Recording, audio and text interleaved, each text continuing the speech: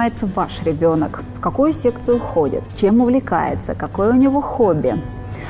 В общем, на все эти интересные темы, а также э, как идея для вас, сегодня в женском клубе гость Наталья Черкова, руководитель э, детского театра пластического танца «Территория». Добрый день. Добрый день. Наталья, расскажите, пожалуйста, а, территория базируется на, а, на территории Бийского педагогического колледжа. А как это произошло? И вообще, как вы оказались э, в колледже? Ну, после того, как я закончила Академию искусства и культуры, у нас было такое направление, так скажем, сначала практика, потом направление, ну и, в принципе, мне все понравилось, я осталась в педколледже. А, достаточно плодотворная работа у меня была. Как раз-таки организовался, организовалась первая студия современного танца «Территория». Она а, включала в себя ребят, э, именно которые учились э, на отделении хореографии. Ну а затем а, мы начали уже плодотворно заниматься этой деятельностью и, так скажем, были первыми на подмостках, так скажем, нашего родного города Бийска а, и э, участвовали во многих э, разных э, конкурсах и продвигались, в принципе, в этом направлении. Но после определенного, определенной работы я уехала из города и продолжала работу в Академии искусства и культуры. И затем уже когда Людмила Афанасьевна стала э, директором Бийского педагогического колледжа, я вернулась на эту базу, на эту территорию и как раз-таки организовала уже детский пластический театр танца. То есть в 2015 году нам сделали признание, э, была квалификация детского пластического театра, так как мы выиграли «Чайку», это был открытый всероссийский конкурс э, театральных э, постановок, именно детских. Ну, и что вы этого... на нем э, То есть у нас э, была постановка по э, мотивам Ганса Христиана Андерсона.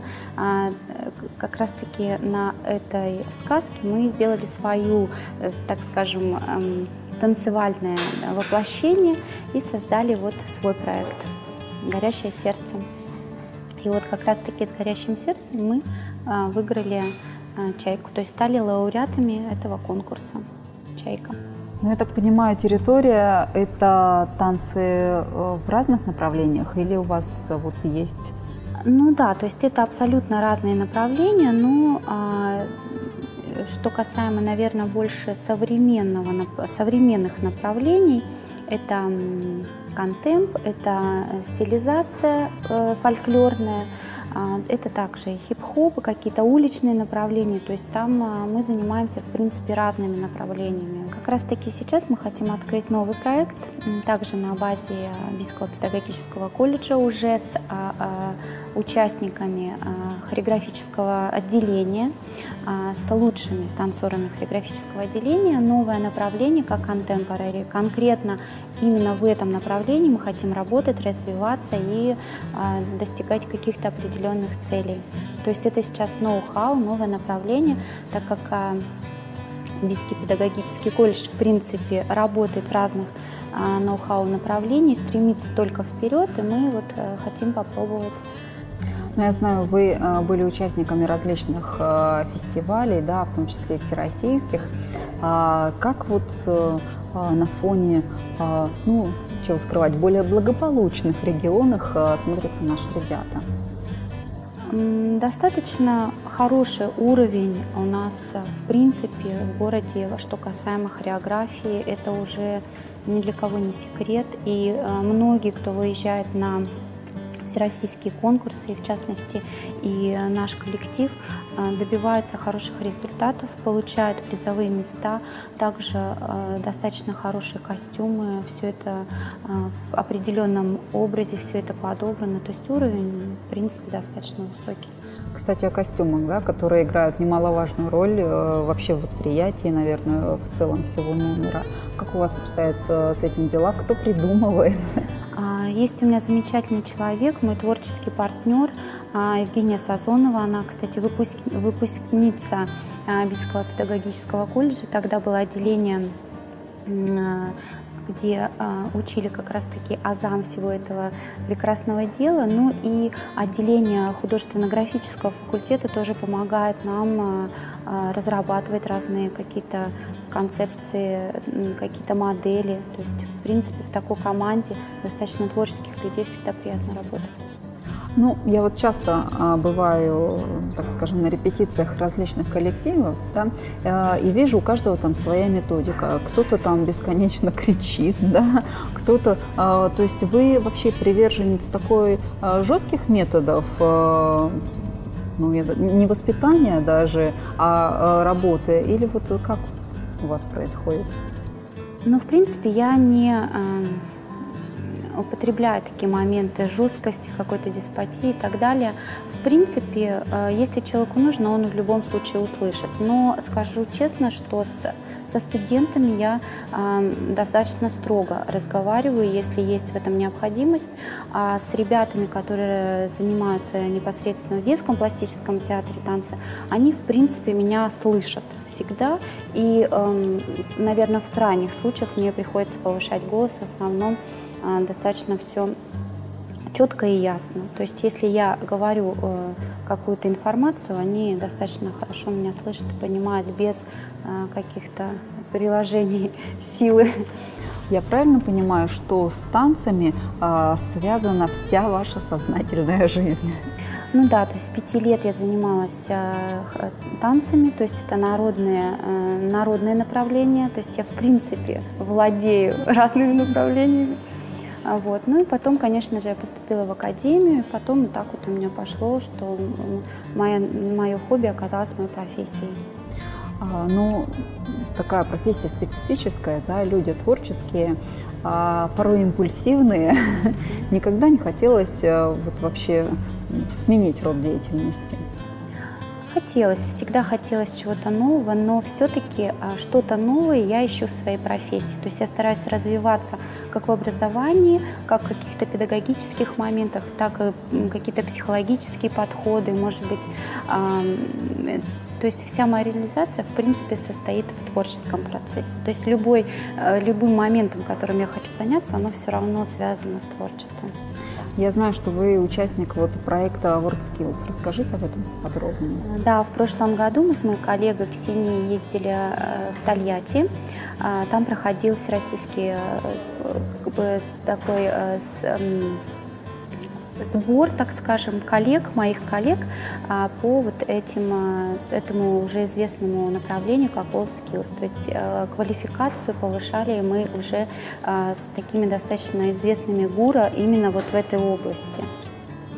То есть, э, а, в принципе, э, это уже не творческая такая направленность, а уже более а, процесса образования, то есть методической, да? да, то есть профессионализм а, в своей профессии, он, так как я, мы все-таки преподаватели, то есть у нас большая степень все-таки процесс обучения, так скажем.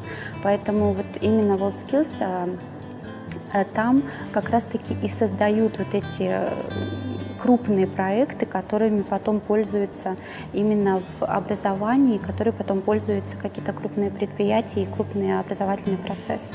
Ну, вообще э, общее такое впечатление, эмоции какие были? Эмоции были, конечно, такие переполняющие, так скажем, потому что то есть это что-то такое, а, какая-то инновация, которая ты еще, в принципе, не совсем нам близка, потому что наша все-таки а, планка творческая, она не имеет каких-то определенных грань, грань, э, границ, а все-таки WorldSkills это научные такие разные подходы, методические, то есть конкретные, где, э, так, э, так скажем, вырабатывают определенные прям научные так, подходы, так скажем, вырабатывают какие-то методические новшества, то есть конкретные цели люди преследуют и как раз-таки развиваются. Но вот это, конечно, когда ты развиваешься, в любом случае это тебя как-то э, поднимает, что ли, окрыляет и дает тебе силы э, развиваться дальше. То есть ты не просто творческий человек, а может быть даже ты уже грамотный, методичный, творческий человек. То есть в разных областях ты уже, можно сказать, профессионал. Ну, вот я знаю, что многие э, талантливые люди уезжают из Бийска в другой регион, и у вас была э, такая возможность. Почему все-таки выбираете Бийск? Ну, наверное, потому что здесь все родное. Как-то все ближе, и, в принципе, можно развиваться э, в любой точке своей родины, так скажем. И если ты реализованный человек, ты можешь быть реализованный человек а, в любом месте. Поэтому на данный момент а, меня все устраивает, и мне нравится работать в Петколледж, мне нравится, что там а, идет развитие, развитие и в образовании, развитие в творческих процессах, развитие в каких-то грантах. А, то есть полностью идет, э, допустим, мы шагаем в ногу со временем, и это не может не радовать. А вот э, какое-то хобби есть? А, хобби... Несмотря на творческую профессию. Да, ну вот мое хобби, я люблю танцевать сама. То есть мне нравится зумба, мне нравится рагетон, мне нравятся такие разные сальса, то есть направление кубы. А, то есть когда я занимаюсь э, сама и танцую, да, то есть мы, в принципе, в педколледже у нас есть а, группа преподавателей, тоже Людмила Афанасьевна тоже ходит на такие наши встречи. То есть мы, в принципе, любим танцевать и эм, всех приглашаем всегда, чтобы разделили с, на, с нами эту. Все-таки, э, когда ты танцуешь, ты это красота, это гармония, это радость, это какая-то внутренняя энергия. Поэтому а, мое хобби это вот танцы все-таки. Наталья, благодарю а, за то, что пришли в наш женский клуб, стали его членом. Ну а всем телезрителям хочу сказать, что если хотите гармонии в жизни, хотите хорошего настроения, зарядиться позитивной энергетикой, танцуйте, и неважно, сколько вам лет. До встречи в эфире. Благодарим за помощь в создании программы «Кафе Панорама», улица Шишкова, 2.